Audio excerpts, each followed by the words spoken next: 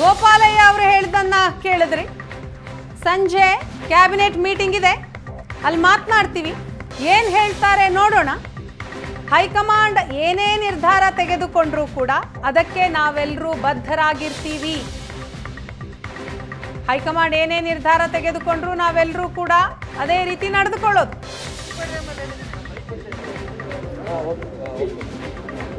ನೀವು ಹೆಂಗ್ ಮೂವ್ ಮಾಡಿದ್ರಿ ಏನು?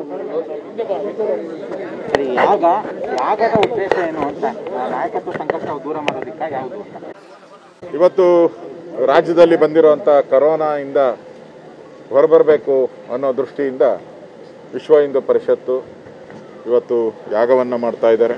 ವಿಶೇಷವಾಗಿ ಕರೋನಾದಲ್ಲಿ ನೊಂದಂಥವರು ಕರೋನಾಯಿಂದ ಹೊರಬರಬೇಕು ಅವ್ರಿಗೆ ಒಳ್ಳೇದಾಗಬೇಕು ಅನ್ನೋ ದೃಷ್ಟಿಯಿಂದ ಈ ಒಂದು ಮಹತ್ ಯಾಗವನ್ನು ಮಾಡ್ತಾ ಇದೆ. ಇಲ್ಲಿ ಆಂಜನೇಯನ ವಿಗ್ರಹನೂ ಕೂಡ ಸುಮಾರು ಅರವತ್ತು ಅಡಿಗೂ ಅರವತ್ತ್ಮೂರು ಅಡಿ ಇಡೀ ರಾಜ್ಯದಲ್ಲೇ ಎತ್ತರವಾದಂಥ ಒಂದು, ರಾಷ್ಟ್ರದಲ್ಲೇ ಎತ್ತರವಾದಂಥ ಒಂದು ಹನುಮಾನ್ ವಿಗ್ರಹವನ್ನು ಮಾಡ್ತಾ ಇದ್ದಾರೆ. ಅದರ ಕೂಡ ಹೋಗಿ ವೀಕ್ಷಣೆ ಮಾಡಿ ಬಂದಿದ್ದೀರಿ. ಒಟ್ಟಾರೆ ಕರೋನಾ ಸಂಬಂಧಪಟ್ಟಂತೆ ಈ ಯಾಗ ಮಾಡ್ತಾ ಇದ್ದೀರಿ. ಇದು ಸಫಲತೆ ಆಗಿ ಕರ್ನಾಟಕದ ಜನಗಳಿಗೆ ಕರೋನಾ ಮುಕ್ತ ಆಗುವಂಥದ್ದಕ್ಕೆ ಆ ದೇವರು ಧೈರ್ಯ ಶೌರ್ಯ ಎಲ್ಲವನ್ನು ನೀಡಲಿ ಅನ್ನೋ ಒಂದು ಯಾಗ ಇವತ್ತು ಎಂ ಇಲ್ಲೇ ಮಾತಾಡಿದ್ರು. ಇಪ್ಪತ್ತ ಇಪ್ಪತ್ತೈದು ಇಪ್ಪತ್ತಾರಕ್ಕೆ ವರಿಷ್ಠ ಸೂಚನೆ ಕಾಯ್ತಾ ಇದ್ದೀನಿ ಅಂತ ಅವ್ರು ಹೇಳ್ದಂಗೆ ಕೇಳ್ತೀನಿ.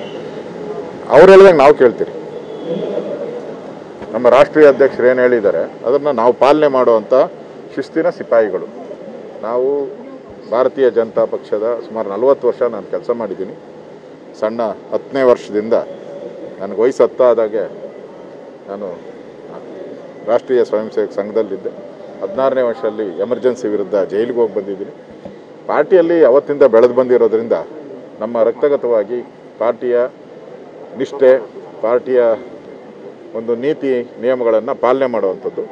ಈಗಾಗಲೇ ಮುಖ್ಯಮಂತ್ರಿಗಳು ಸ್ಪಷ್ಟವಾಗಿ ಹೇಳಿದ್ದಾರೆ, ಇಪ್ಪತ್ತಾರನೇ ತಾರೀಕು ಕೇಂದ್ರದ ನಮ್ಮ ರಾಷ್ಟ್ರೀಯ ಅಧ್ಯಕ್ಷರು ಏನು ಸೂಚನೆಯನ್ನು ಪಾಲನೆ ಮಾಡ ಕೊಡ್ತಾರೆ ಅದನ್ನು ಪಾಲನೆ ಮಾಡ್ತೀನಿ ಅಂತ ಕೂಡಿದ್ರು.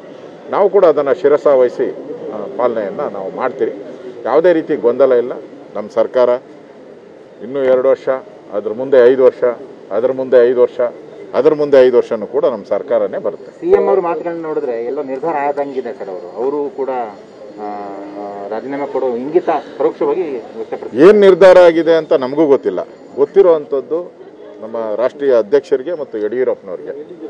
ಸೊ ಯಾವುದೇ ನಿರ್ಧಾರ ಕೇಂದ್ರದಿಂದ ಬಂದರೂ ಕೂಡ ಅದನ್ನು ಪಾಲನೆ ಮಾಡುವಂಥ ಕರ್ತವ್ಯದಲ್ಲಿ ನಾವೆಲ್ಲರೂ ಕೆಲಸ ಮಾಡ್ತೀರಿ. ಒಟ್ಟಿಗಿದ್ದೀರಿ. ನಮ್ಮಲ್ಲಿ ಯಾವುದೇ ರೀತಿ ಸಮಸ್ಯೆಗಳು, ಭಿನ್ನಾಭಿಪ್ರಾಯಗಳು ಯಾವುದೂ ಇಲ್ಲ.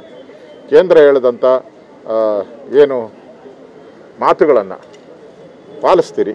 ಯಾವುದೇ ಸಂದರ್ಭದಲ್ಲೂ ಕೂಡ ನಮ್ಮಲ್ಲಿ ಯಾವುದೇ ರೀತಿ ಸಮಸ್ಯೆ, ಉದ್ಭವ ಆಗಲ್ಲ. ಆ ರೀತಿ ನಮ್ಮ ಪಕ್ಷದ ಕೇಡರು ಇದೆ.